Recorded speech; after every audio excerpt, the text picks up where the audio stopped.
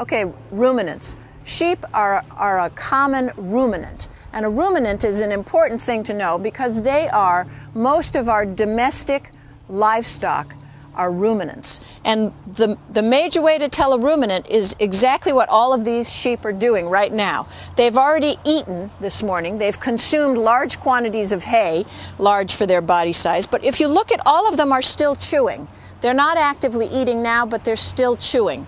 Because what they did was they, they ate a lot of hay earlier today, and that hay went into their rumen, or their first segment of their stomach, and now they cough it back up and they chew it again. And then it goes on into the, to the next three segments of the stomach. A ruminant is defined by having four stomachs or four segments to their stomach. And the most important thing about being a ruminant is that they can survive on grass.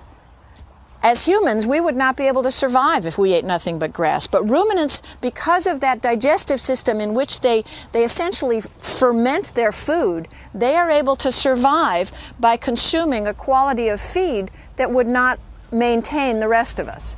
And, and by chewing their cud, they, they are able to do magic things with, with some basic old cellulose.